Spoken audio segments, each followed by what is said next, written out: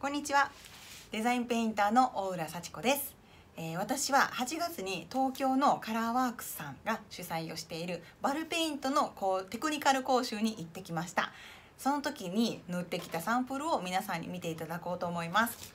まずはじめにこちらです。これはバルセチって呼ばれているものでしてこれねシルバーとかを塗ってるわけじゃないんですけどこう向けるだけでラメラメですよね。光沢感があるんですよ。で今蛍光灯の下ですけどこれを実際に今度お花か何か置いて撮影をしてみたいんですけれどもなんかベルベット調な布のような質感なんです。なのにこんだけちょっと柔らかいんですよね。不思議。すごく高級感のあるカラーだと思います。でちょっと模様をつけてみました。